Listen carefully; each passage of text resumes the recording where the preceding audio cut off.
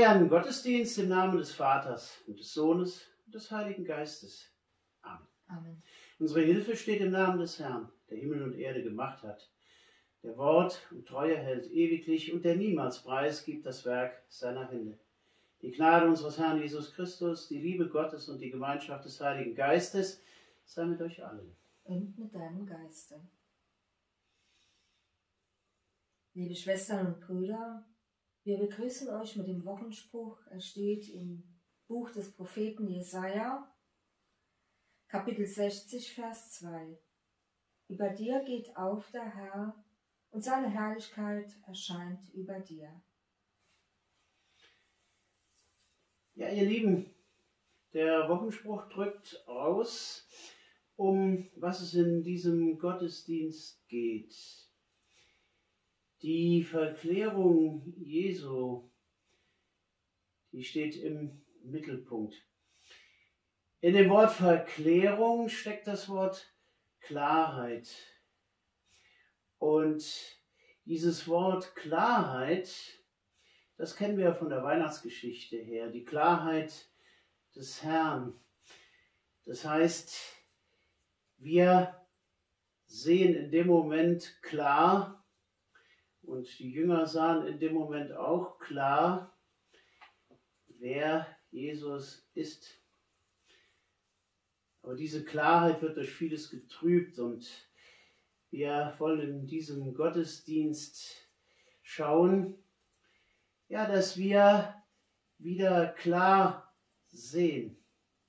Klar sehen, dass Jesus unser Herr und Erlöser ist und ja, wir auf ihn angewiesen sind, dass unser Leben gelingen kann. Zunächst wollen wir aber das erste Lied zusammen singen. Das ist die Nummer 450, Morgenglanz der Ewigkeit. Wir singen die angegebenen Strophen.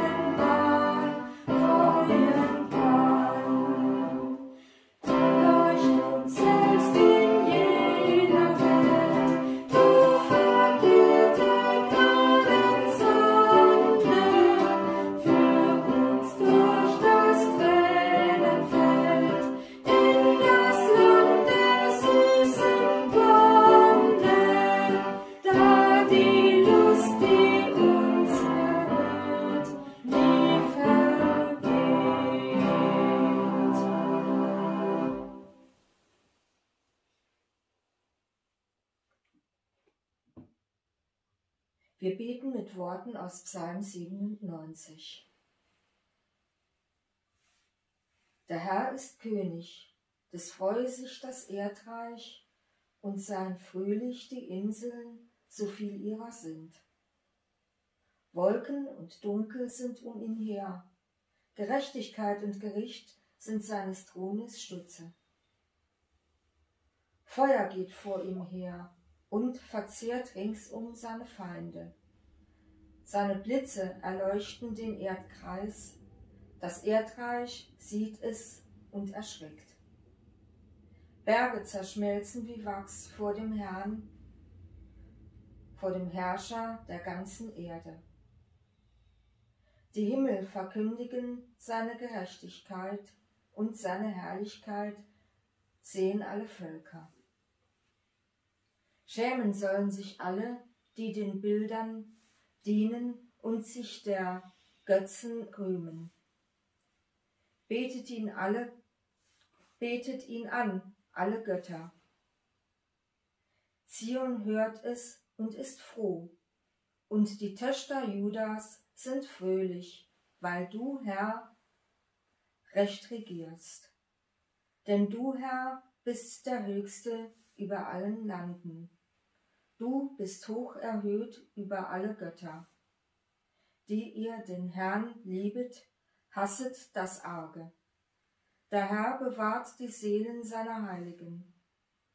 Aus der Hand der Gottlosen wird er sie erretten. Dem Gerechten muss das Licht immer wieder aufgehen und Freude den frommen Herzen. Ihr Gerechten, freut euch des Herrn, und danket ihm und preiset seinen heiligen Namen. Amen. Kommt, lasst uns anbeten. Er sei dem Vater und dem Sohn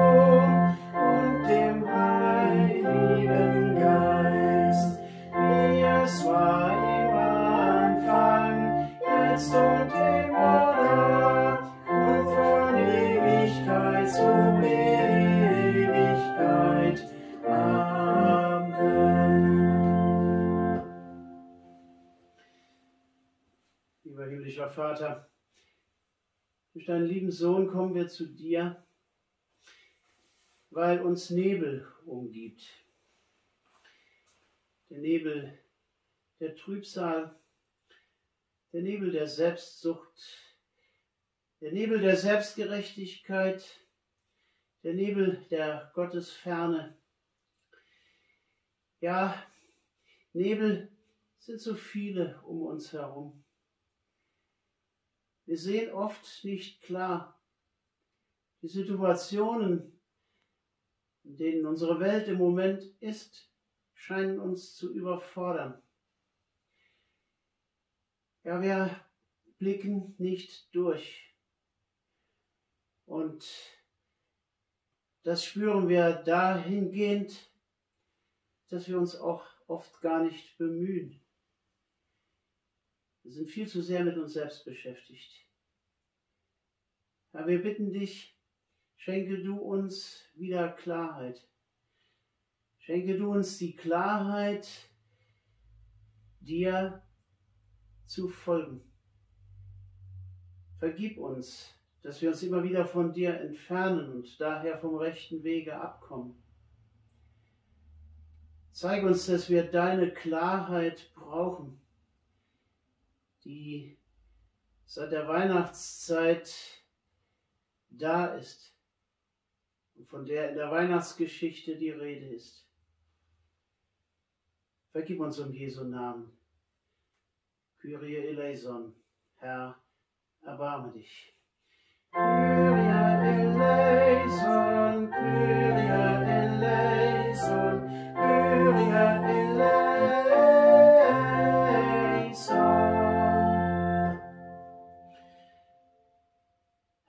Erbarmst dich unserer gern. Du willst Klarheit schaffen in unserem Leben. Du sagst es. Du sagst es uns immer wieder zu und wir sehen dich. und du lässt dich von uns finden. Dafür geben wir dir die Ehre wie die Engel auf dem Feld.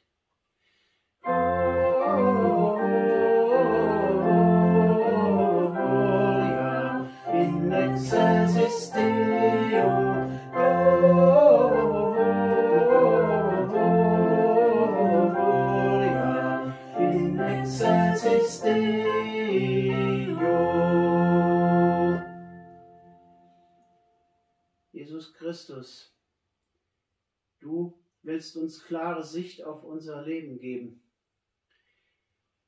Du hast dich deinen Jüngern auf dem Berg gezeigt, damit sie erkennen, wer du bist.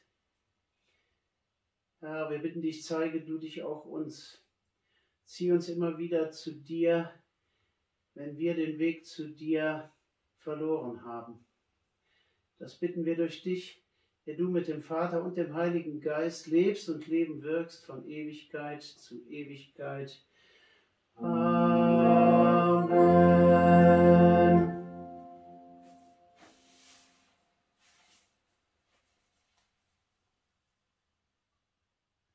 Epistel steht im ersten Brief Petrus, Kapitel 1, die Verse 16 bis 21. Wir haben, wir haben uns nicht auf geschickt erfundene Märchen gestützt, als wir euch das Kommen unseres Herrn Jesus Christus in Macht und Herrlichkeit bekannt machten. Wir haben mit eigenen Augen seine göttliche Hoheit gesehen, als er von Gott, seinem Vater, geehrt und verherrlicht wurde. Gott, der die höchste Macht hat, sagte zu ihm, Dies ist mein Sohn, ihm gilt meine Liebe. Ihn habe ich erwählt. Als wir mit ihm auf dem heiligen Berg waren, haben wir diese Stimme vom Himmel gehört. Durch dieses Erlebnis wissen wir noch sicherer, dass die Voraussagen der Propheten zuverlässig sind und ihr tut gut daran, auf sie zu achten. Ihre Botschaft ist für euch wie eine Lampe, die in der Dunkelheit brennt, bis der Tag anbricht und das Licht des Morgensterns eure Herzen hell macht. Denkt aber daran, keine Voraussage in den heiligen Schriften lässt sich mit dem eigenen Verstand deuten. Denn die Botschaft der Propheten ist nicht von Menschen gemacht. Die Propheten sind vom Geist Gottes ergriffen worden und haben gesagt, was Gott ihnen eingab.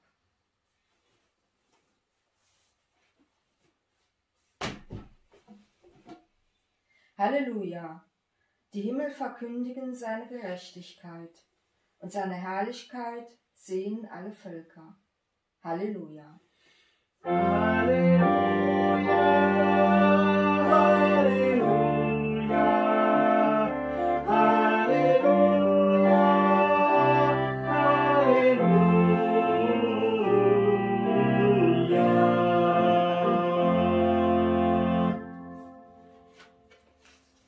haben Gottes Wort gehört. Und wollen darauf antworten, indem wir gemeinsam unseren christlichen Glauben bekennen. Ich, Ich glaube an Gott, den Vater, den Allmächtigen, den Schöpfer des Himmels und der Erde, und an Jesus Christus, seinen eingeborenen Sohn, unseren Herrn, empfangen durch den Heiligen Geist, geboren von der Jungfrau Maria, gelitten unter Pontius Pilatus, gekreuzigt, gestorben und begraben, hinabgestiegen in das Reich des Todes, am dritten Tage auferstanden von den Toten, aufgefahren in den Himmel. Er sitzt zur Rechten Gottes, des allmächtigen Vaters. Von dort wird er kommen, zu richten die Lebenden und die Toten.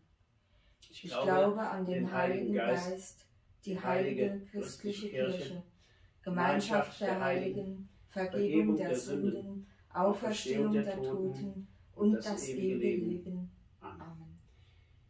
Wir singen das nächste Lied.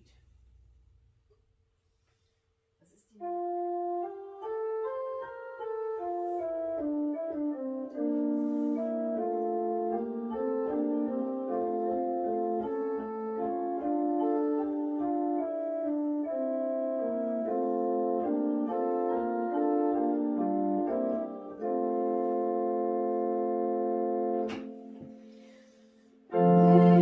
see.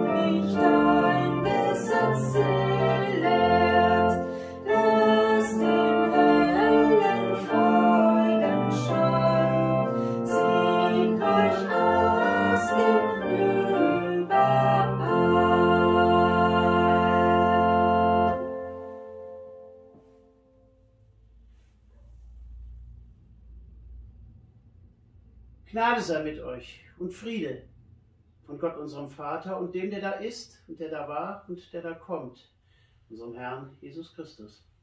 Amen. Amen. Der Predigtext steht im Matthäusevangelium, Kapitel 9, die Verse, äh, Kapitel 17, die Verse 1 bis 9. Sechs Tage später nahm Jesus Petrus und die beiden Brüder Jakobus und Johannes mit sich und führte sie auf einen hohen Berg. Sonst war niemand bei ihnen. Vor den Augen der Jünger ging mit Jesus eine Verwandlung vor. Sein Gesicht leuchtete wie die Sonne und seine Kleider wurden strahlend weiß. Auf einmal sahen sie Mose und Elia bei Jesus stehen und mit ihm reden. Da sagte Petrus zu Jesus, wie gut, dass wir hier sind. Herr, wenn du willst, schlage ich hier drei Zelte auf, eins für dich, eins für Mose und eins für Elia. Während er noch redete, erschien eine leuchtende Wolke über ihnen und eine Stimme aus der Wolke sagte, dies ist mein Sohn. Ihm gilt meine Liebe. Ihn, ihn habe ich erwählt. Auf ihn sollt ihr hören. Als die Jünger diese Worte hör hörten, warfen sie sich voller Angst zu Boden. Aber Jesus trat zu ihnen, berührte sie und sagte, Steht auf, habt keine Angst. Als sie aufblickten, sahen sie nur noch Jesus. Während sie den Berg hinunterstiegen, befahl ihnen Jesus, Sprecht zu niemand über das, was ihr gesehen habt, bis der Menschensohn vom Tod auferweckt ist. Herr Gott, heilige du uns in der Wahrheit. Dein Wort ist die Wahrheit. Amen. Liebe Schwestern und Brüder, welch eine Geheimnistuerei. Die drei Jünger steigen mit Jesus vom Berg herab und er befiehlt ihnen, sagt zu niemandem etwas. So nach dem Motto, das ist unser Geheimnis. Das kennen wir doch auch. Gerade als wir Kinder waren, wie oft wurde da dieser Ausspruch getan. Das ist unser Geheimnis. Ich glaube, ich brauche da gar keine Beispiele zu nennen. Jeder kann da oder könnte, wenn er wollte, aus seinem eigenen Nähkästchen plaudern. Aber wir wissen auch, dass hier und da solche Geheimnisse so spannend waren, dass wir sie dann doch nicht immer für uns behalten konnten. Vor allen Dingen dann, wenn es Geheimnisse waren, die uns Freude bereiteten und ja, wo wir so ein inneres Kribbeln spürten. Ich glaube, so ist es den drei Jüngern auch ergangen. Ich kann mir nicht vorstellen, dass sie nicht jedem hätten erzählen wollen, was sie auf diesem Berg erlebt hatten. Und das war ja nun wirklich etwas Ungeheuerliches. Da steht Jesus und verändert sich. Sein Gesicht leuchtet und seine Kleider werden strahlend weiß. Und mehr noch, Mose und Elia, die beiden Großen des Alten Testamentes, stehen plötzlich da und unterhalten sich mit Jesus.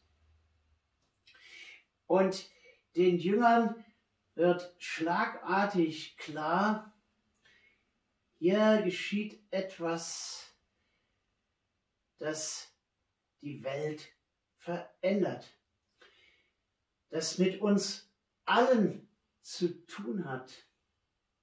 Da ist plötzlich ein Licht, ein Licht, das man nicht nur äußerlich sehen kann, nein, ein Licht, das den Menschen in die Herzen scheint.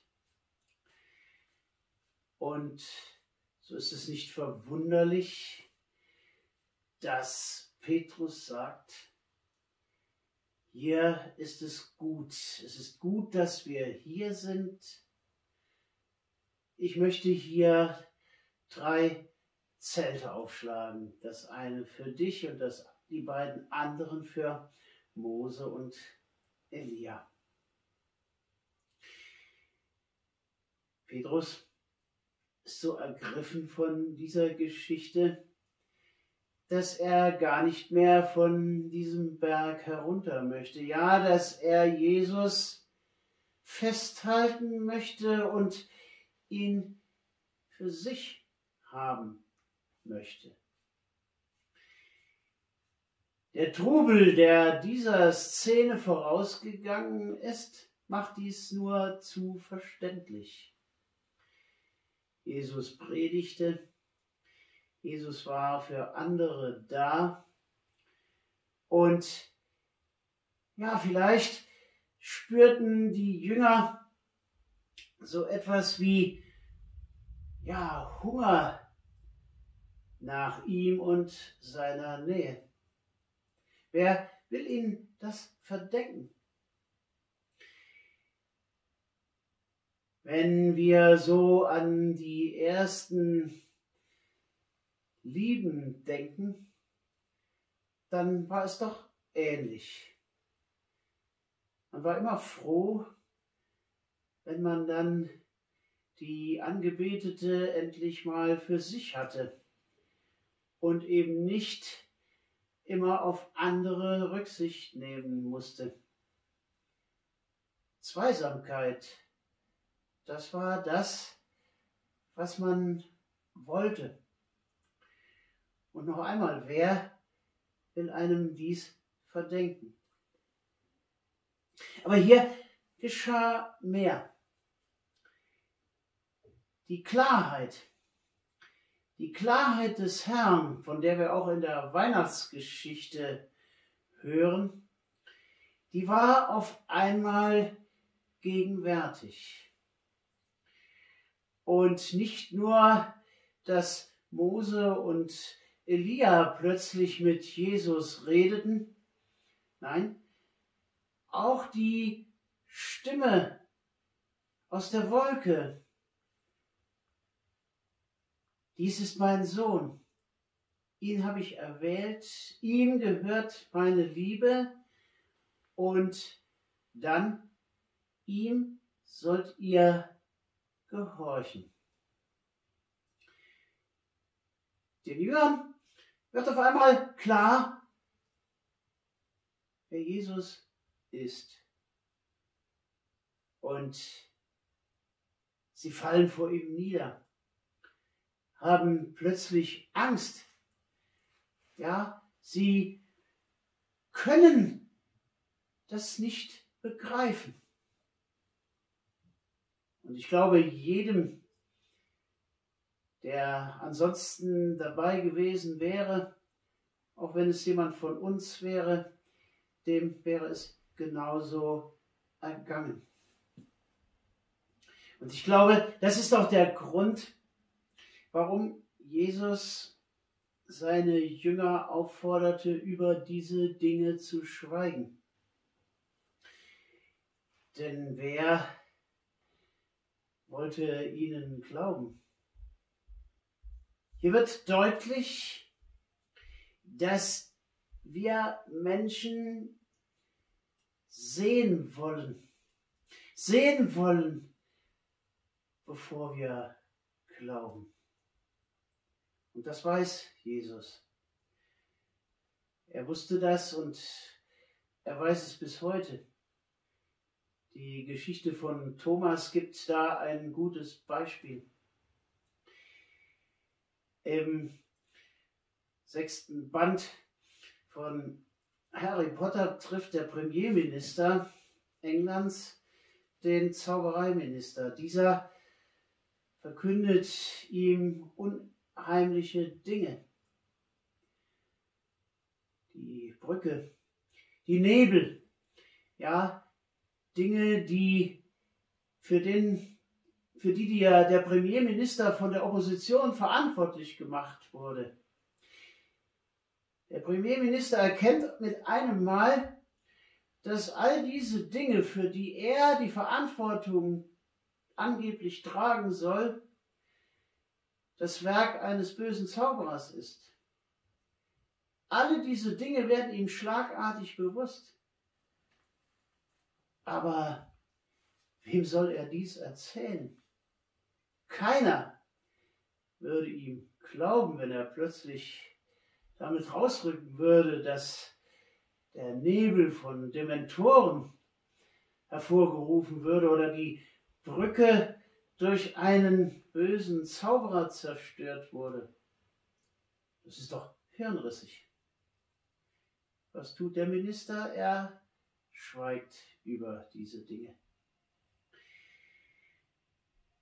Ja, ich denke, das war der Grund dafür, dass Jesus die Jünger dazu aufforderte, zu schweigen. Und ich denke, er wollte den anderen Jüngern und auch den Menschen, die ihm zuhörten, die Gelegenheit geben, alleine durch das Hören seines Wortes an ihn zu glauben. Und wir wissen ja, dass dies auch viele taten. Glauben ist nicht sehen. Selig sind die nicht sehen und doch glauben, sagt Jesus zu Thomas. Und das sagt er auch zu uns. Ihr habt alles, was ihr braucht. Ihr habt die Propheten. Ihr habt mein Wort durch das Evangelium. Also, was hindert euch daran, an mich zu glauben? Die Auferstehung ist doch das Zeichen dafür, dass ich Gottes Sohn bin. Und das sagt Jesus ja auch. Erzählt niemandem davon, bis ich von dem Toten auferstanden bin. Denn dann werden alle Menschen erkennen, wer ich bin und was ich für euch getan habe. Dass ich in die Welt gekommen bin, um euch mit Gott zu versöhnen. Dass ich Menschen Gott gezeigt habe. Dass ich Menschen dazu gebracht habe, an mich zu glauben und mir in allen Dingen des Lebens zu folgen. Das sagt Jesus nicht aus Angabe oder Hochmut heraus. Das sagt er, weil er in Vollmacht Gottes handelt. Und so ist die Verklärung, die Klarheit, die die drei Jünger plötzlich vor Augen hatten, ein Vorgeschmack dessen, was uns, wenn wir an Jesus glauben, erwartet. Die ewige Freude des Lebens mit Gott. Amen. Und der Friede Gottes, der all unser Begreifen übersteigt, der bewahre unsere Herzen und Sinne in Christus Jesus, unserem Herrn. Amen. Wir singen das nächste Lied.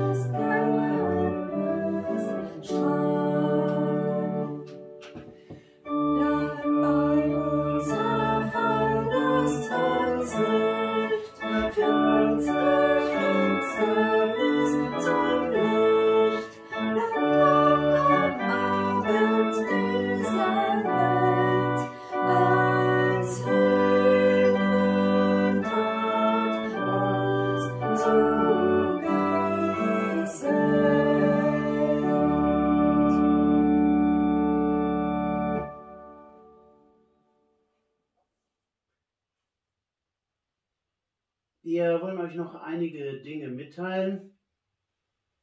Zunächst laden wir ein zu den kommenden Gottesdiensten.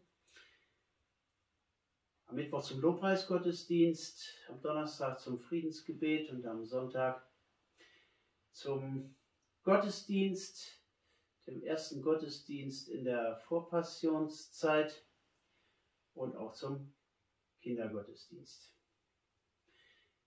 Wir danken euch dafür, dass ihr auch heute wieder mit dabei seid und mit uns Gottesdienst feiert und dafür, dass ihr uns durch euer Gebet tragt.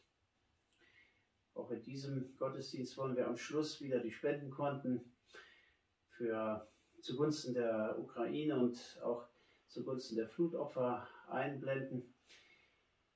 Viel ist da zu tun und wir danken euch für alle bisher geleistete Hilfe und auch für die Hilfe, die ihr künftig leisten werdet.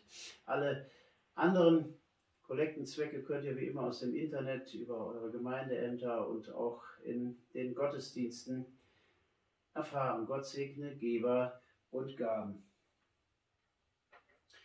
Wir wollen jetzt miteinander die Fürbitten halten. Lieber himmlischer Vater, wir danken dir durch Jesus Christus, dass du ihn in diese Welt gesandt hast, dass du ja dafür gesorgt hast, dass die Jünger klar sehen konnten. Wir bitten dich, lass auch uns klar sehen. Nimm die Nebel von unserem Angesicht, dass wir sehen, wer Jesus ist. Gib, dass wir ihm nachfolgen und dass wir ihn zum Freund und Anwalt unseres Lebens machen. Kyrie, Kyrie, eleison. Kyrie, Kyrie, eleison.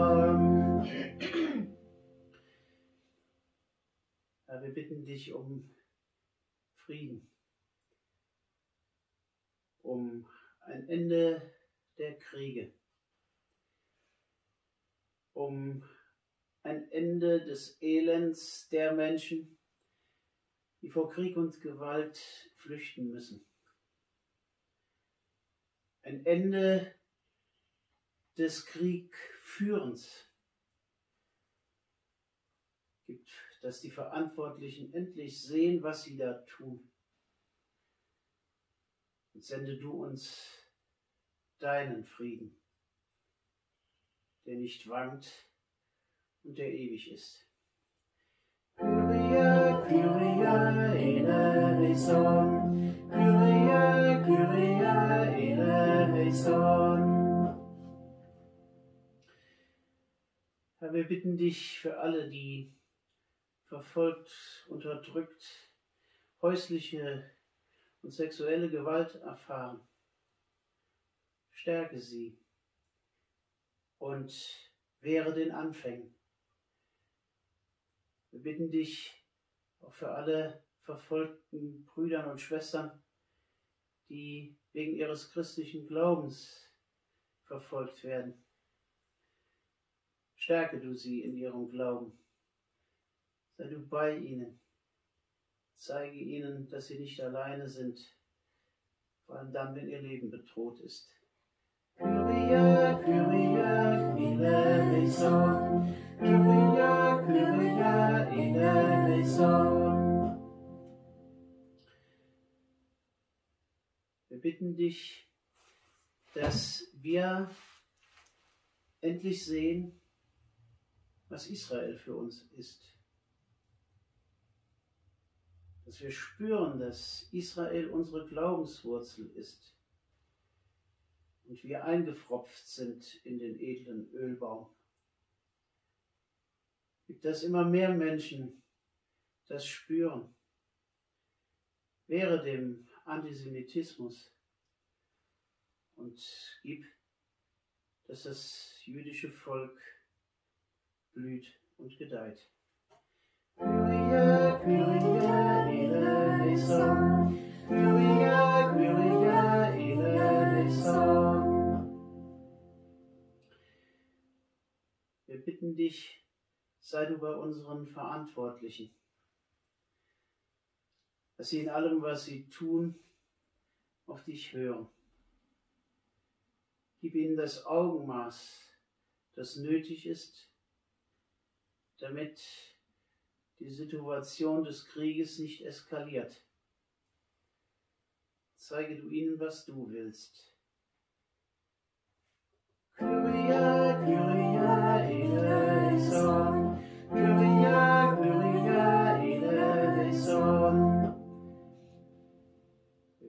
Für deine Kirche, dass sie dein Wort in Wahrheit verkündigen. Gib all denen, die in der Kirche Verantwortung tragen, Kraft, Mut und Freude, dein Wort zu verkündigen. Dass die Kirche Heimat werden für alle die, die auf der Suche sind. Gerade der vielen jungen Menschen, die nach Orientierung suchen. Dass sie spüren, dass die Kirche etwas anderes gibt, als die Welt gibt. Segne deine Kirche und schenke ihr Einheit und Frieden. Kyrie, Kyrie, eleison. Kyrie, Kyrie, eleison. Alles, was uns sonst bewegt, bringen wir in der Stille vor dich. Unsere Situationen und die Menschen, mit die wir uns Sorgen machen.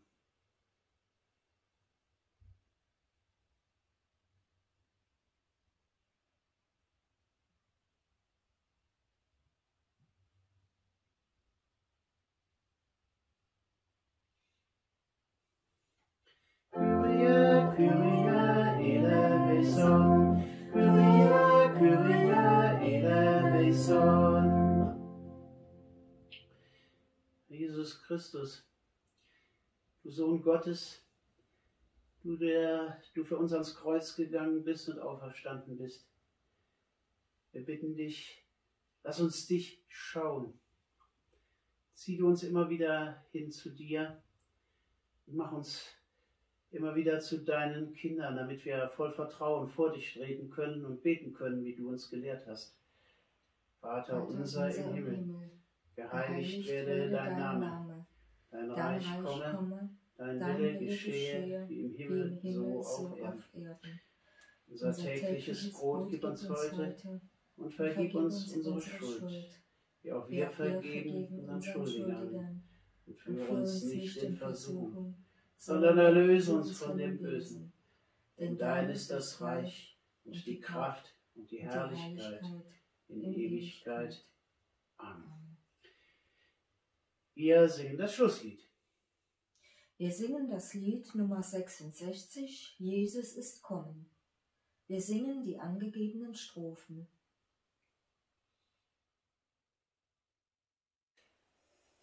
Jesus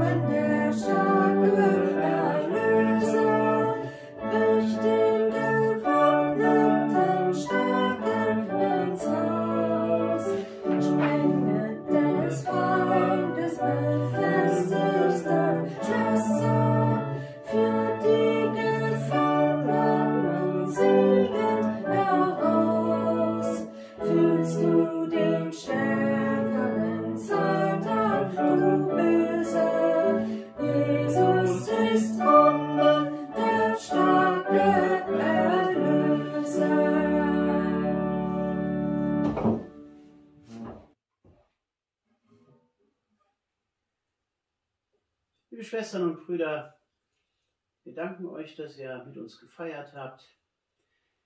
Wir wünschen euch einen gesegneten Sonntag. Seid behütet und bleibt gesund. So geht hin mit dem Segen des Herrn in diesen Tag und in die neue Woche. Der Herr segne uns und behüte uns. Der Herr lasse leuchten sein Angesicht über uns und sei uns gnädig. Der Herr erhebe sein Angesicht auf uns alle und schenke uns und der Welt seinen Frieden. Amen, Amen, Amen.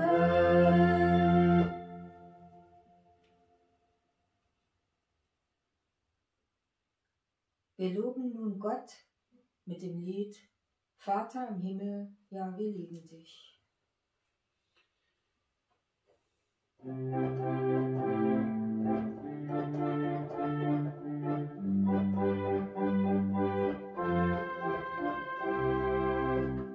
Part-time human.